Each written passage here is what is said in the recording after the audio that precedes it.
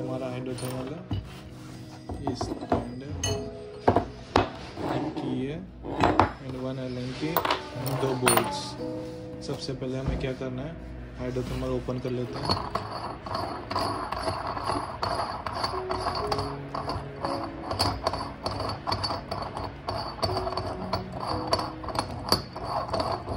Open करने के बाद ये प्लेट हटाएँगे। देन इसके नीचे पुश बटन है। इसके थ्रू हम इसे प्रेस करके आउट करेंगे। देन ये अपना बीकर अब हमें क्या करना है? सबसे पहले अपने स्टैंड को टेबल में किसी भी फिक्स कर लेंगे नट्स बोल्ट्स के थ्रू दो बोल्ट्स होते हैं।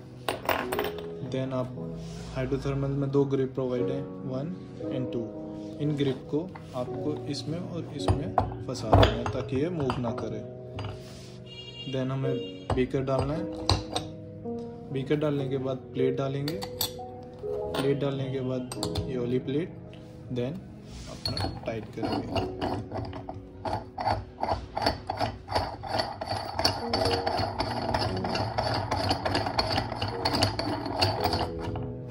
जब फुल टाइट हो जाए देन हमें लास्ट में की के थ्रू टाइट करना है।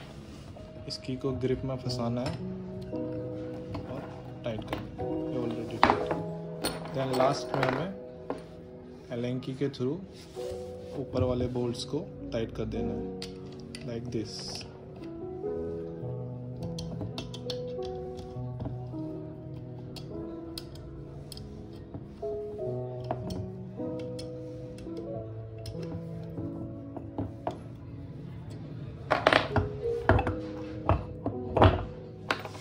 Thank you for watching.